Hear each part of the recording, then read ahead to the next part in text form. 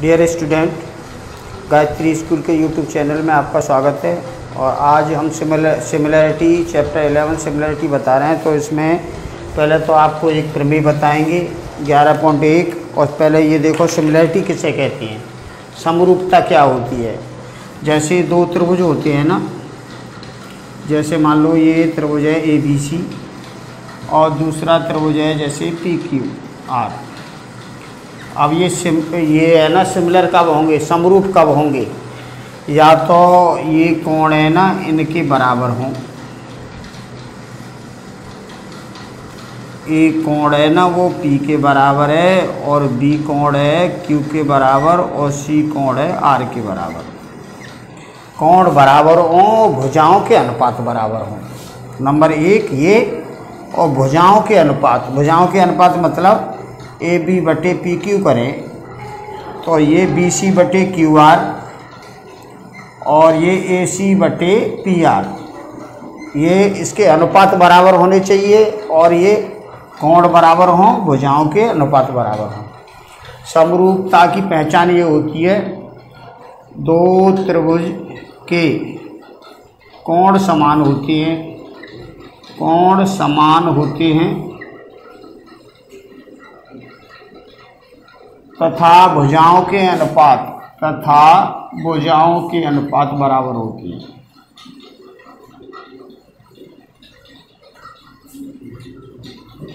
अनुपात बराबर होती है। ठीक है? ये सिमिलर जब होती हैं, ठीक है? एक तो ये कंडीशन है। अब मान लो अब सिमिलर करने के लिए तीन नियम हैं। हमारे पास नियम है इसके तीन। एक तो ये है कोण कोण कोण। तीनों कोण बराबर हों, इसके भी और इसके भी तो सिमिलर होता है। दूसरा, दो कोण बराबर हों तो सिमिलर होता है। मान लो इसका एक, ये कोण इसके बराबर, इसका ये कोण बराबर, एक बराबर नहीं हो तो मान, बराबर ही माना जाएगा। और तीसरी कंडीशन इसकी, तीसरी कंडीशन में ये है कि एक त्रिभुज के दूसरे त्रिभुज से कोण बराबर हो। जैसे सपोज़ दैट ये बी कोण है ना, वो आपका क्यू कोण के बराबर हो जैसे, ये कोण इस कोण के बराबर है, और ये कोण जिससे बन रहा है, यानी ये वाली भुजा और ये वाली भुजा, इसकी ये वाली भुजा और ये वाली भुजा, इनके अनुपात बराबर हों। यानी ए बी है ना, बटे पी क्यू बराबर होनी चाहिए बी सी बटे क्यू आर तो ये तीन कंडीशन है, एक ये, दो ये और तीन ये। तीन कंडीशन में हमें ना समरूपता सिद्ध करती है। समरूपता का मतलब आप ऐसे समझ लो, जिसके रूप एक जैसे हैं, लेकिन छोटे बड़े हो सकते हैं। ठीक है? तो समरूपता की जो नियम है, ये वाले नियम लगते हैं। एक, दो और ये तीन। तीन नियम लगते हैं। और समरूप, अगर दो त्रिभुज समरूप हों, मान लो ये वाला त्रिभुज है ना, त्रिभुज ए बी सी ये समरूप है पी क्यू आर की। तो ये होता है कोण बराबर होते हैं और भुजाओं के अनुपात बराबर होते हैं। ये सिस्टम होता है, ठीक है ना? समरूपता सिद्ध करने का। ये कोण बराबर होते हैं, भुजाओं के अनुपात बराबर होते हैं, दो समरूप त्रिभुज के। और नियम ये हैं कोण कोण ये पहले त्रिभुज के तीनों कोण, दूसरे त्रिभुज के तीनों कोण के बराबर हो तो समरूप होगा। पहले त्रिभुज के दो कोण और दूसरे त्रिभुज के दो कोण बराबर हो। तो समरूप होगा। तीसरा तो बराबर हो ही जाएगा, क्योंकि दो त्रिभुज के कोणों का योग एक सौ अस्सी होता है। और तीसरी कंडीशन इस नियम से बराबर हो समरूप होते हैं कि ये बी कोण है ना, ये क्यू कोण के बराबर है। और ये कोण जिससे बन रहा है, इस वजह से इससे, ये बन रहा है, इस वजह से इससे। तो इनके अनुपात बराबर होने चाहिए, ठीक है? अब मैं आपको ग्यारह पॉइंट एक प्रमेय बताऊँगा। ग्यारह पॉइंट एक प्रमेय है ना वेरी वेरी इंपॉर्टेंट प्रमेय है। पहली प्रमेय और आ सकती है। अब की बार बोर्ड एग्ज़ाम में, क्योंकि पिछली बार है ना, पिछली बार बारह पॉइंट आठ आई थी, उससे पहले तेरह पॉइंट चार आई थी तो तेरहवें चैप्टर से भी आ गई है बारहवें चैप्टर से भी आ गई है।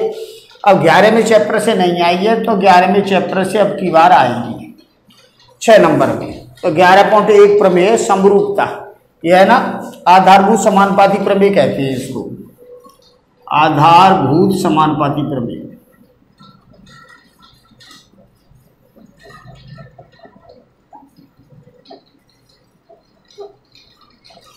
और ये प्रमेय होती क्या है? प्रमेय आप ऐसे समझ लो क्वेश्चन लिखा हुआ ऐसा आएगा। किसी त्रिभुज की, किसी त्रिभुज की एक भुजा के समानांतर एक त्रु, किसी त्रिभुज की एक भुजा के समानांतर खींची गई रेखा खींची गई रेखा शेष दोनों भुजाओं को समान अनुपात में विभाजित करती है। शेष दोनों भुजाओं को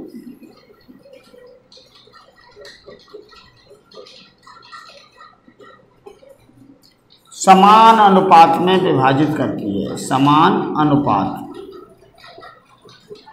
में विभाजित करती है।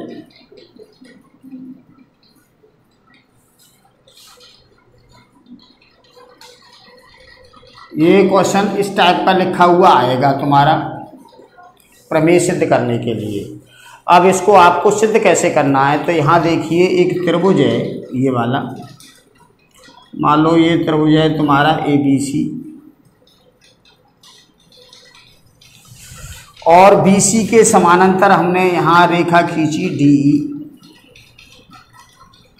ये इसके समानांतर ये खींची है तो हमें ये सिद्ध करना है, ये बटे ये बराबर ये बटे ये होगा।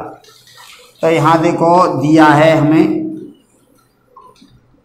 अब इस क्वेश्चन को हल करना है, सबसे पहले लिखा जाता है दिया है। तो दिया में लिखा जाएगा त्रिभुज ए बी सी जिसमें डी ई है ना, वो समानांतर है बी सी के। सही है? ये दिया है। अब हमें सिद्ध क्या करना है? इसमें सिद्ध करना है हमें ए डी बटे डी बी बराबर होगा ए, ई बटे ई, सी। ये हमें सिद्ध करना है। ए डी बटे डी बी बराबर, ए डी बटे डी बी बराबर ए, ई बटे ई, सी। ये सिद्ध करना है। अब इसकी रचना देख लो थोड़ा सा। रचना में हमें ना यहाँ से देखिए, यहाँ से बी से तो सी को मिलाएँगे। और डी से सी को मिलाएँगे बी से ई को मिलाएँगे। अब यहाँ से ई से ए बी पे लंब डालेंगे। ये लंब है। और इससे इस पे लंब डालेंगे ए सी पे। ये मान लो एफ़ है और ये मान लो जी है। तो ये हमें रचना करनी है। तो रचना में डॉट डॉट डॉट डॉट करते हैं तो यहाँ देखिए हमने क्या किया? बी ई तथा सी डी को मिलाया।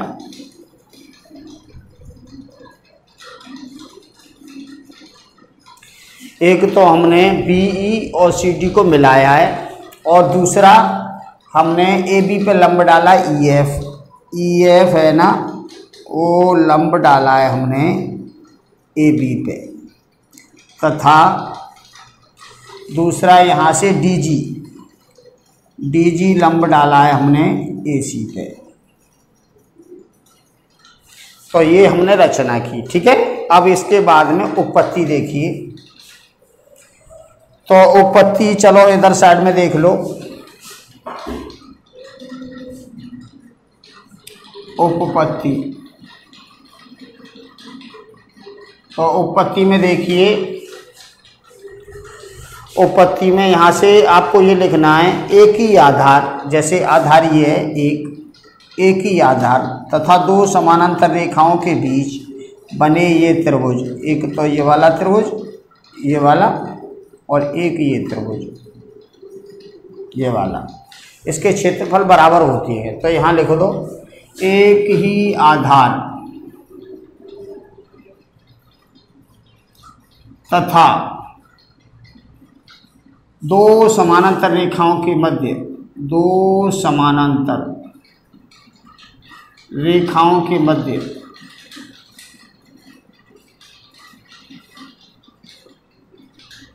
बने त्रिभुज के क्षेत्रफल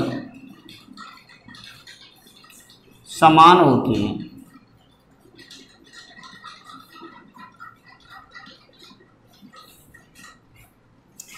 तो अतः यहाँ लिखेंगी कौन कौन क्षेत्रफल समान होंगे? बी डी ई त्रिभुज बी डी ई का क्षेत्रफल बी डी ई का क्षेत्रफल बराबर होगा त्रिभुज सी डी ई का क्षेत्रफल।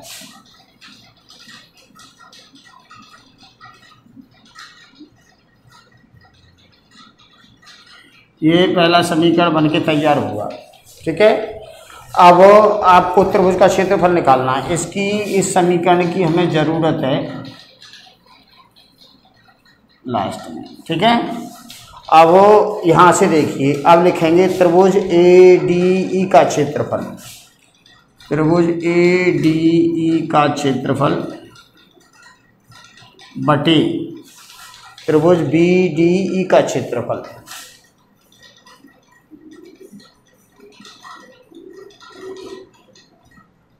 तो त्रिभुज का क्षेत्रफल जब हम निकालते हैं तो त्रिभुज का क्षेत्रफल होता है, एक बटे दो आधार गुणा लंबवत ऊंचाई। तो एक बटे दो आधार। अब इस त्रिभुज के क्षेत्रफल में हमने ये आधार लिया ए डी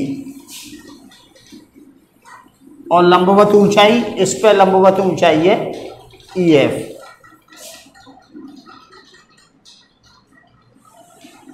यहाँ पे लेंगे तो यहाँ पे ये ये वाला त्रिभुज है।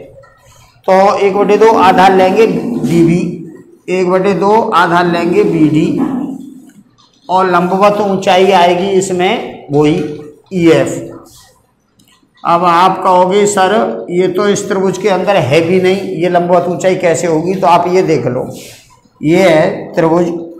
मान लो इसका क्षेत्रफल हम निकालना है, इसका इसका हमें क्षेत्रफल निकालना है। तो आधार तो यही लेंगे बी सी और लंबवत ऊंचाई यहाँ से इधर आएगी ये। ये लंबवत ऊंचाई होगी। ये ए डी लंबवत ऊंचाई होगी। क्योंकि त्रिभुज है ना, वो इधर साइड से इधर है तो लंबवत ऊंचाई ऐसे होती है। ऐसे ही आप ये देख लो। ये लंबवत ऊंचाई है ना, ये वाली ई e एफ़ ये इस पूरी लाइन पे लंबवत है तो इस त्रिभुज में भी ये काम करेगी और इस वाले त्रिभुज में भी यही काम करेगी। ठीक है? तो ये आएगा भाई, इससे इसको काट दिया हमने, एक बटे दो से एक बटे दो ई एफ़ से ई एफ़ कट गया तो यहाँ आएगा ए डी बटे बी डी बी डी कर लो या डी बी कर लो, बात एक ही है उससे कोई फ़र्क नहीं पड़ता। तो ये आया भाई दूसरा समीकरण। अब ऐसे ही हम तीसरा करेंगे तो त्रिभुज ए डी बी का क्षेत्रफल ए डी ई का क्षेत्रफल तो अब की बार हम क्या ले रहे हैं? अब की बार ये वाला त्रिभुज और ये वाला त्रिभुज ले रहे हैं। तो ए डी ई का क्षेत्रफल और इधर लिया है हमने सी डी ई का क्षेत्रफल।